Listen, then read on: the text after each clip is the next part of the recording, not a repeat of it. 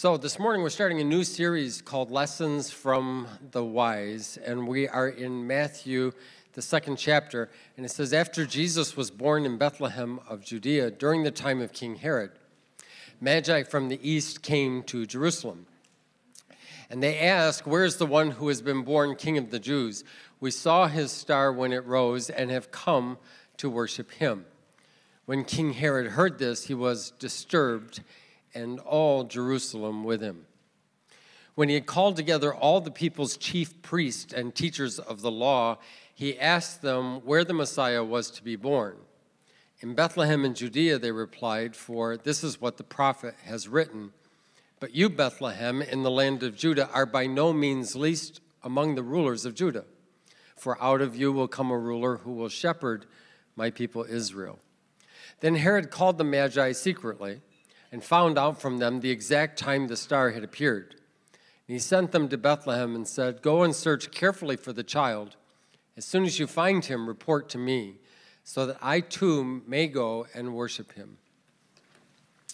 If you watch the news for even a couple of weeks, you're probably going to see evidence of some unbelievable force that's wreaking unbelievable havoc. Uh, maybe you've witnessed the images of hurricanes that seem to cause cities to drown before our very eyes. Or maybe you've seen um, earthquakes that shake not only the, the superstructures, but the infrastructures of our nation. Or maybe you've seen these uh, unbelievable fires that have just raged throughout California, destroying homes, taking lives, and leveling thousands of acres of forest. And we're awestruck by the incredible power that is unleashed in those horrific events. But I would like to suggest to you today that there is a power that unleashes more destructive ability than all of those combined, and that is the force of apathy or passivity. Just simply failing to take action can cause things to disintegrate and die in ways that we can't possibly appreciate if you take no action in your education, either applying for a school or applying yourself in the school, it just sets a trajectory for your life that is so much less than it could have been. Or if you take no action on friendships, I listened to this great story from a young man this last uh, week. He said that he went to a college and it was an absolute horrific experience for him. He had no friends there and he transferred to another college and he made all kinds of friends there. And somebody asked him, Were the people just friendlier at the second college? And he said, No. He said, I made it my responsibility to introduce myself to every person in my dormitory and every person in my class. And I found out I made some great friends. Just taking action towards that. If, if we just wait for friendships to develop, it doesn't really work. Or once we have friends, it takes some time and effort to keep those friendships going. Or how about work? Maybe you don't expand your skills or seek opportunities, or your family. Uh, it's amazing how many people wait until something becomes a crisis before they do anything about it. Well, there's this concept of apathy, and it brings up a very important religious uh, debate and, uh, it, and by the way, this is not just within Christianity. This religions around the world tend to, to struggle with this concept. And the first concept is: Is it true that everything depends on us? Like, is, it, is it my actions and, and my efforts that make the complete difference in my life and maybe in the world around me? Or the second model of that, and that, that's, you know, you're completely in charge. The second model of that is God is doing everything and we're just kind of spectators to his activity. And here's what I want you to know there's a lot of debate over is it the sovereignty of God or is it the free will of man? And here's what you should be aware of anytime we pick and choose between those two things, we get into trouble. It's actually an embracing of both those things. That there are things that God does, and there are things we need to respond to that He does. That's so wise people take initiative in life. Wise people take initiative in life. We're, we're going to learn this lesson from the Magi. And the Magi, who, who are these people? Well, they're in the Christmas story. If you believe the carol, the Christmas carol, it says that we three kings uh, of Orient are. And uh, so a lot of people believe there were three wise men. We actually don't know that. The Bible doesn't tell us how many wise people there were. There could have been two, there could have been ten. We have no idea how many there were. Um, the Bible doesn't say how many there were. The Bible, if, if you want to learn more about this group of people, you have to dig pretty deep into Scripture and into ancient history. So the Magi were a group of people, they were a priestly class that lived about 700 years or were formed 700 years before the birth of Christ. And uh, they, uh, they were known as uh, a priestly class who were committed to very deep levels of education. So they were very well versed in math, in science, in, uh, uh, um, in the supernatural. They were interested in all those things. And in fact, a lot of people believe that the laws of the Medes and the Persians were actually based on the educational understanding of the Magi. Now, what's interesting is that history actually tells us is that no person could become the king of Persia unless they were educated by the Magi and passed the test and they approved, and they would actually be the ones that would place the crown on the head of the king. And so you could see why King Herod would be concerned, because this is the group of people who decides who gets to be king in the country they come from. When it says King Herod was disturbed, that's why. And then it said, and all Jerusalem with him, because if you know anything about King Herod, if he was disturbed, he made life a living nightmare for everyone else. And everyone else became very disturbed. So there's, an, there's a person in the Old Testament, very prominent, one of the most uh, gifted leaders in all of Scripture. His name was Daniel.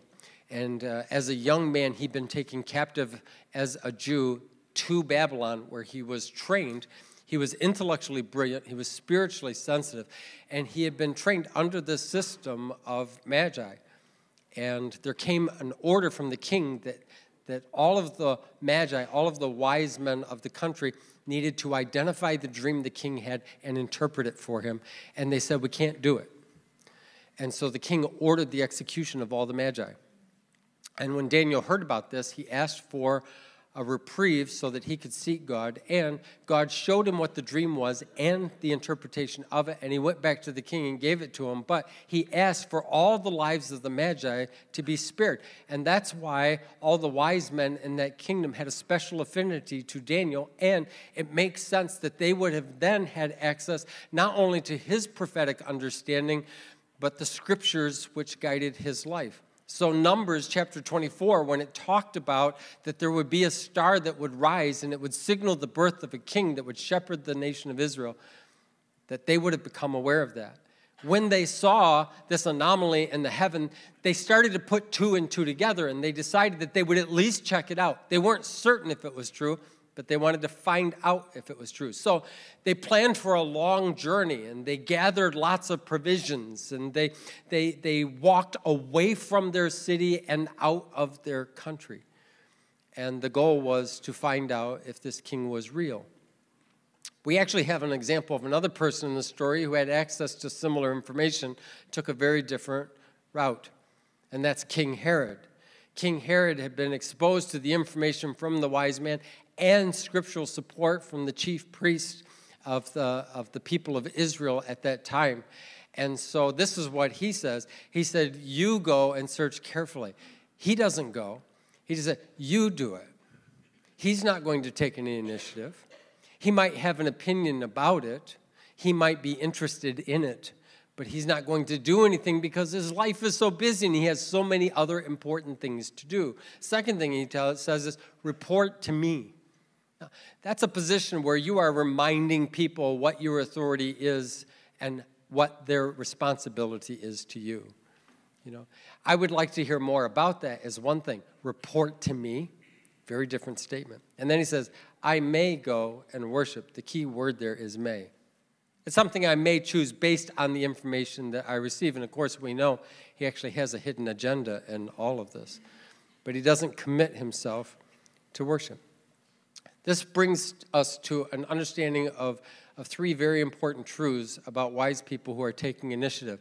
And I'm going to take most of my time on the first point, Uh, I'm not going to take so much time on points two and three. So if I'm working through point one and you see the clock getting by and you think that you're going to miss Christmas because I'm going to talk, that's not how it is.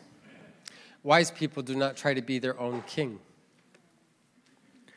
Our world actually tells us that that's the definition of freedom. If you can call all the shots and you can decide what matters, that's what freedom is. That's what autonomy is. Uh, the problem is, is that when left to our own devices, the decisions that we make tend to be based on what makes us comfortable rather than what really matters. And we tend to focus on things that provide pleasure rather than fulfillment. Every one of our hearts crave a fulfilling life, but we'll settle for way less than that a lot of times. And so any parent knows that if you have little children, you can't leave them unobserved or unattended for any length of time. Why? Because they will eat stuff that tastes good but is not good for them. They will have cookies and candy for breakfast, for lunch, for dinner, and dessert. And they will love every minute of it while they're throwing it up and while their teeth are rotting out of their heads. You know, we just know parents need to be there because they don't make. How many have, how many have, as, as children, you, you remember your children, they didn't want to go to bed. Did, did anybody, kids beside our kids, just fight us on going to bed? Just my kids. Oh, well. well, they did, you know? And, and now, now I look at them and I go, I wish someone would tell me, go take a nap. You know, go to bed. That would be so good. Why is it we're tempted to assume that when we reach a certain height or a certain age that we don't need someone else to speak into our life anymore. We don't make our best decisions when left to our own devices. So the Magi are seeking a king, a king that's going to give them a sense of direction, a sense of value, a sense of worth. And they understand something. Life doesn't just work automatically because you were born into it that there are lots of them. My, my wife was uh, uh, working and she got home from work yesterday. She told me the story. There was a young person, 13 years old, who came into the store, introduced themselves with a, uh, with a broad smile and a handshake. 13 year old walked up, said, Hello, my name is. And uh, Sue said, Well, my name is. He, he said, I know your name. I see your picture up there. That's a nice picture. And, and Sue said, How old are you? And he, he said, 13. She said, That picture was taken before you were born. That's why that picture looks like.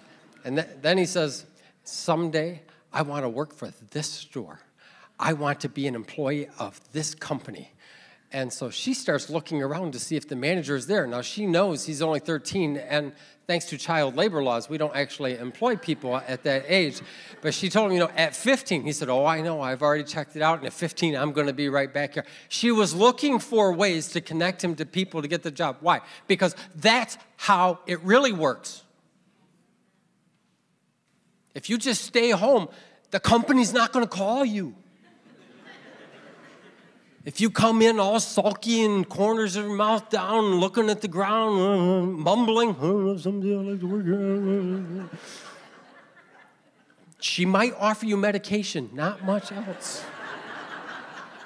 not much else. There's a way the world actually works. There's a way to forge healthy relationships so that we can endure difficulty. There's a way to be competent in this world. There's, there's, a way to build a family where values are imparted and individuals are supported. There's a way to manage our resources so when we make a single bad decision or there's an economic downturn, we're not destroyed by it.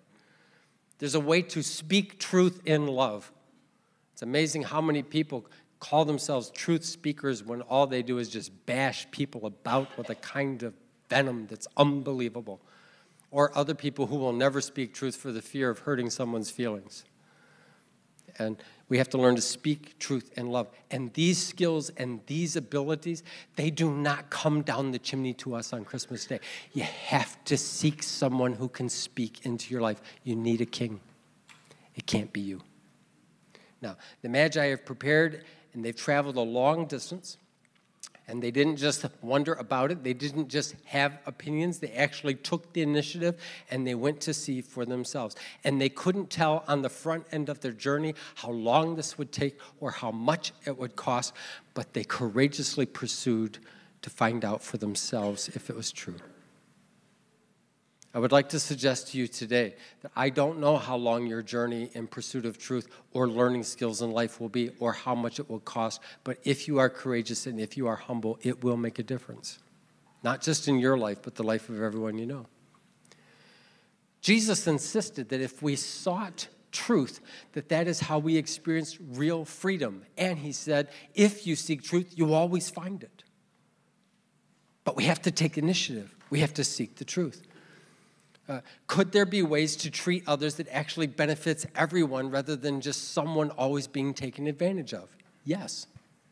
Could there be ways to build relationships that make each other healthier and stronger? Yes.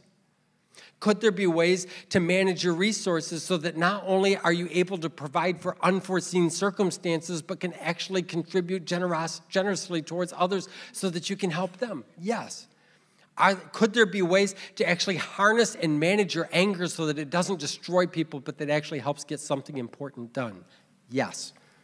Could there be ways to live your life sexually so that it doesn't expose you to unnecessary disease, create unwanted life, or generate unbearable regret? Yes. Yes, there is. But you won't stumble on this kind of information. You have to seek it out.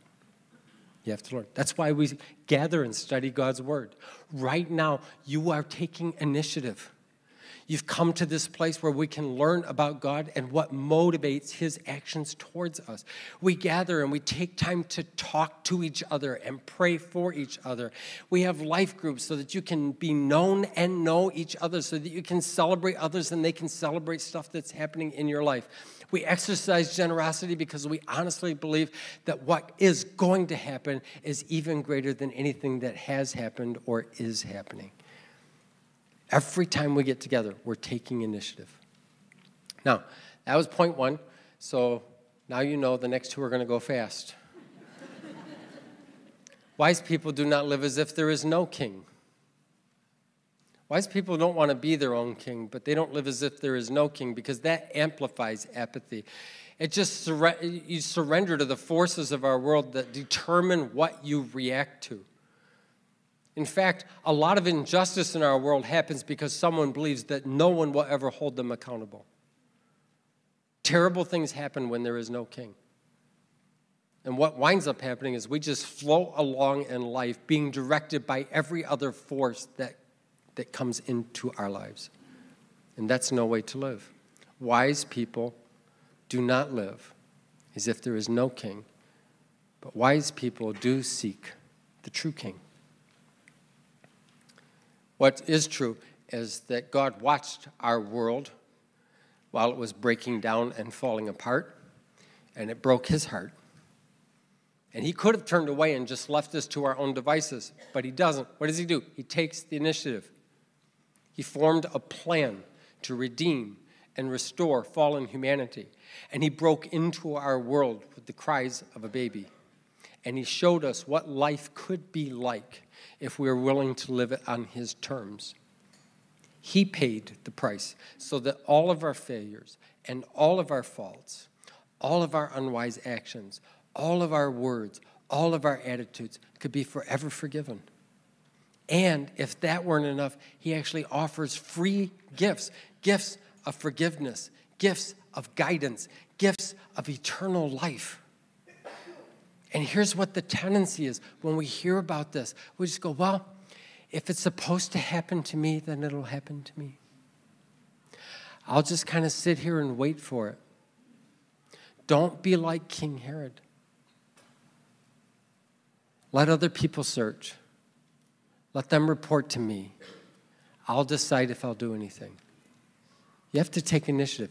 You can't create eternal life or eternal forgiveness, but you can take the initiative to pursue the truth about how that makes a difference in our world and in your life. You can do that. All it took was a star and a scripture, And the wise men set off on a journey to find out for themselves. And we have so much more than those two things. And I would just encourage you take the initiative to receive the gift that God offers to you. Let's bow our heads today.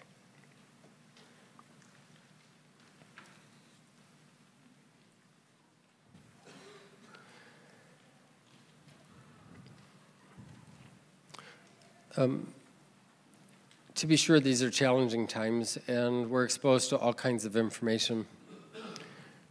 And some of it can be uh, fairly demeaning of ideas about God or grace. So, how do you know what information is worth pursuing or not? And here's a test I'd like you to think through. Not just what does it claim, that's important, but what does it accomplish? And you can actually look into the eyes of individuals who've decided that they will begin this journey and they don't know how long it will take and they don't know how much it will cost, but they want to find out for themselves if there is a God in heaven and if He did give His Son and if these gifts are available at His cost.